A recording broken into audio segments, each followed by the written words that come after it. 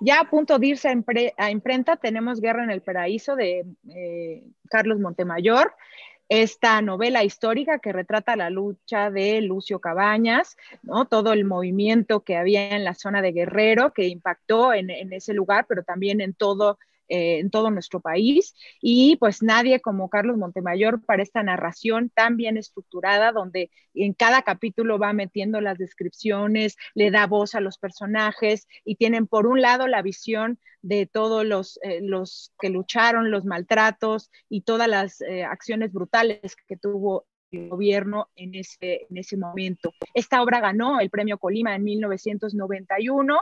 Eh, Carlos Montemayor, bueno, nació en Parral en 1947 y murió en la Ciudad de México en 2010. Eh, ganó además del premio Colima, el premio Villarrutia, el premio Juan Rulfo, escribió novela, cuento, eh, poesía y es uno de los escritores mexicanos más relevantes. Con la colección popular también tenemos Las Mujeres del Alba y estamos aquí, Paco Taibo, Fritz Glockner y yo, eh, para conversar sobre este libro. Con, Carlos me unía una entrañable, entrañable relación, que curiosamente surgió a trompicones. La primera vez que nos conocimos, él estaba dando un curso, no, unas conferencias sobre poesía de los clásicos griegos o latinos, y nosotros estábamos en un encuentro de novela policíaca, y alguien de la organización del Instituto de Cultura Local se equivocó y, nos dio el mismo salón a los dos. Y me miraba gacho, Carlos. Ah, pero la salida de Guerra en el Paraíso a mí me sorprendió de tal manera que escribí un encendido elogio en las páginas de la revista Siempre de la novela. Me parecía todo un encuentro con un tema prohibido por la literatura y la, sobre todo política mexicana. Era, de eso no se habla. Y Carlos entró en un nivel de profundidad notable y a partir de eso convivimos estrechamente en 37 aventuras. Y me, me, iluminó tantas veces, tantas veces, lo mismo tocando el piano y cantando ópera para jóvenes rebeldes en Italia, este, donde decidimos aplicarles electroshock. Esperaban que habláramos del zapatismo y de política y hablamos de lo que nos dio la gana, como siempre como una gira que hicimos juntos por Guerrero, donde de repente me dijo algo sorprendente. Me dijo, ¿ves que estás lleno de, de, canchas de básquetbol, Paco? Y yo decía, perdón. Sí, Guerrero está repleto de canchas de básquetbol en todas las comunidades. Y digo, pero ¿de dónde? Si los guerrerenses son chaparritos, el básquet no es como el, el deporte. Me decía, pues esto lo inventó Echeverría. Son las canchas donde permiten el descenso de los helicópteros. Y me dejó con la boca sorprendida de cómo la magnitud de la operación para acabar con el guerrero rebelde ah, y la guerra sucia, la profundidad de la dimensión.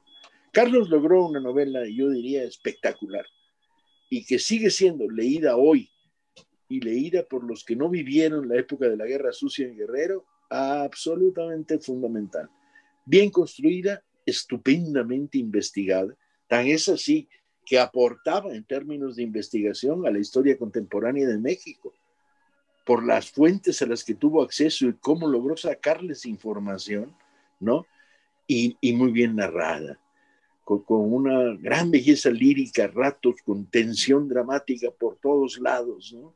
una novela fundamental, una de las novelas más importantes del fin del milenio mexicano. De hecho, no hay muchas, ¿no? no hay... que traten este tema y menos de esa manera magistral, ¿no? ¿Sí?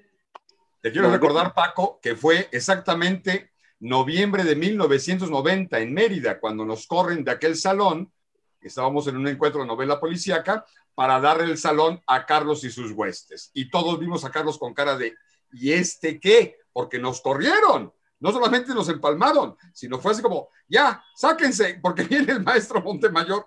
¿Y quién es ese? Pero bueno, y como bien dices, también a mí en ese momento me pareció un personaje poco agradable, pero evidentemente en 1991 la lectura, que en ese entonces todavía tenía yo la librería La Historieta, ¿no? Me llega como novedad y en cuanto veo el tema, como bien saben, es mi tema de cabecera, y evidentemente, como dices, las fuentes de Carlos tenían una prontitud histórico que evidentemente ha sido una de mis fuentes obvias, a pesar de ser literatura, para la construcción histórica. El canijo de Carlos, como todos sabemos, esta fue su novela preámbulo, porque no estaba enterado de lo que sucedía en Guerrero, no era su, su visión eh, Lucio Cabañas, sino él había sido partícipe y se había sentido herido luego del conocimiento del fracaso del intento al asalto al cuartel Madera en Chihuahua el 23 de septiembre de 1965, donde existían tres o cuatro amigos directos de él. Y esa historia a él le impacta. Y él se asume que tiene que escribir esa historia de alguna otra manera porque sabía que sus amigos no eran delincuentes, no eran rateros, no eran más que luchadores sociales con una gran utopía que les permitía encontrar otra vía, otra vía alterna ante la situación de opresión de los caciques de Chihuahua. Pero estaba tan cercano a él que no lograba eh, vaciar, digamos, la bilis, ¿no? Para escribir la historia de él y el intento de asalto al cuartel de madera y se encuentra con la historia de Lucio y empieza a recrearla y empieza a investigar y nunca, eh, hasta su muerte, nunca me, confesó sus fuentes militares, a pesar de la eh, maravillosa relación que teníamos, nunca se atrevió, aunque varias veces venía a Puebla y más o menos ya eh, olfateo qué general fue el que le soltó parte de esta investigación, que no voy a decir nada, por supuesto, pero bueno, es evidentemente la gran novela del propio Carlos. El propio Carlos decía y planteaba que de toda su literatura, Guerra en el Paraíso era su gran paraíso, digamos, ¿no? Recordemos que además siguió tocando el tema con, posteriormente, en 1999, Los Informes Secretos. En el 2003 es cuando logra lavar las entrañas y publica Las Armas del Alba, donde nos narra esta historia del intento al asalto al cuartel Madera y posteriormente 2007 La Fuga, que está publicada en el Fondo de Cultura Económica, esa historia maravillosa del sobreviviente de Chihuahua y que logra volverse a incorporar a diversos grupos clandestinos revolucionarios y que termina huyendo de, eh, de, las Islas Marías, de la cárcel de las Islas Marías. Y por último, eh, también evidentemente escribió eh, Las Mujeres del Alba, que es la otra el libro que también hemos publicado en el fondo y que ya se publicó post-mortem. Por desgracia, Carlos ya no vio editado este libro como tal. Pero bueno, evidentemente, Guerra en el Paraíso, él mismo lo ha externado y lo externaba en diversas entrevistas, porque además su estructura y su forma de darle voz a los guerrilleros, al pueblo, a los burócratas, a los militares, a los torturadores, genera un mosaico hermosísimo de la realidad con las tensiones que destacabas, pero sobre todo con eh, el sentimiento y las cualidades de cada personaje histórico que le tocaba jugar, ¿no? Por llamar así, al torturador le toca la tortura, ¿no? Al idealista tomar las armas para intentar liberar a su pueblo, a las bases de apoyo que eran eh, agredidas por los militares y en términos generales creo que evidentemente es una de las grandes eh, ofertas que vamos a tener desde el Fondo de Cultura Económico, la, Económica, la reedición de Guerra en el Paraíso, obra que ya es, aunque Carlos no lo hubiera querido, ya es un clásico.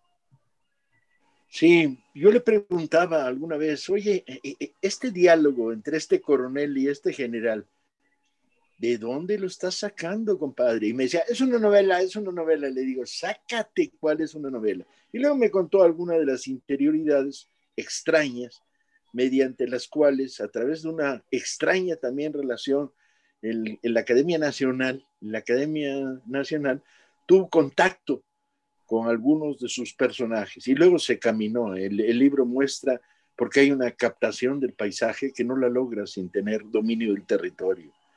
A mí me gustan mucho Flores de Piedra, que sería el antecedente, ¿no? Flores de Piedra se llama, ¿no? Sí. La de los mineros, ¿no? Sí. No, la de los mineros, ahora no recuerdo su nombre, pero... Tengo en la cabeza. Pero es uno de los antecedentes de cómo Carlos se aproxima a la literatura social, por llamarla de alguna manera. Curioso porque llevaba muy bien esta, esta múltiple faceta de, culto profundo, ah, al que le gusta cantar ópera, que traduce poesía indígena, ah, preocupado por la recuperación de ciertos clásicos, todo ello mezclado con una vocación que le hacía un hombre incómodo para el sistema, muy incómodo para el sistema. Pero, pero incómodo dentro del establishment, ¿no? O sea, era de estos autores que su carrera tenía que haber ido hacia los grandes frutos. Mal de piedra nos acaban de chismear exactamente la obra anterior. este, era parte de, eh, de un establishment que no parecía que hubiera terminado escribiendo literatura social para nada nuestro querido Carlos Montemayor, pero la huella del 23 de septiembre del, del 65 la traía totalmente para modificar lo que pudiera parecer que iba a ser su carrera académico y literaria, ¿no?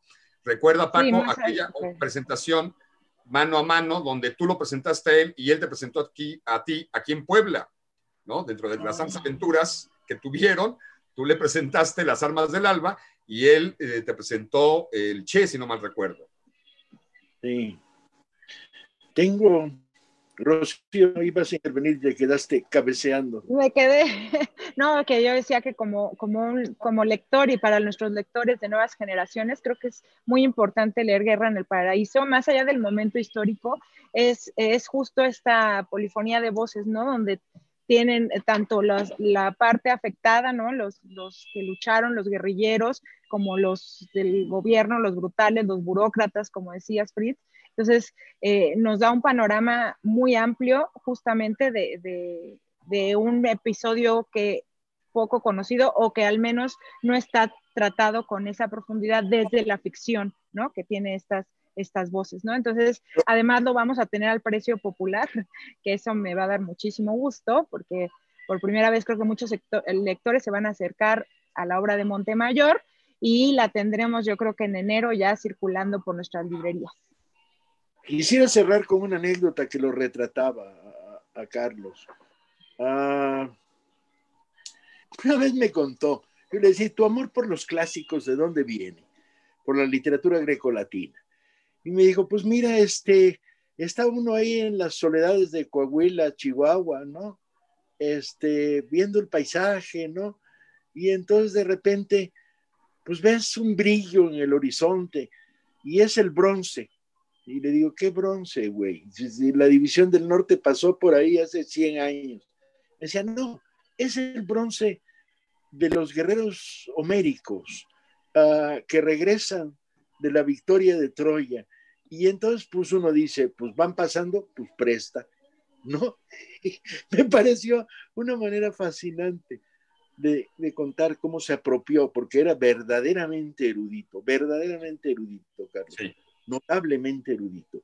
Y esto lo combinaba con una gran novela, con varias grandes novelas, pero una en particular, Guerra en el Paraíso, no dejen de leerla. Y sobre todo, Aguas porque es la novela que rompe el dique de las historias que no se contaban en este país. Guerra en el Paraíso viene a colocar a Lucio Cabañas y a toda una historia negra que en México no se narraba. No se la pierdan, por favor, porque evidentemente es un placer leer al adorado Carlos Montemayor. Gracias.